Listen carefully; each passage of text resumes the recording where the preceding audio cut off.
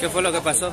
Lo que pasa fue que cuando escuchamos un sonido fuerte pensé que es una persona, pero la vinimos a ver y mira esta parte aquí como, como ha desprendido y la base mire cómo está inclinada para allá.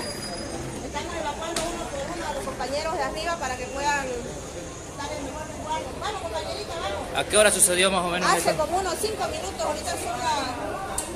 ¿Qué horas son ahorita? Las 6, hace como 6 en punto más.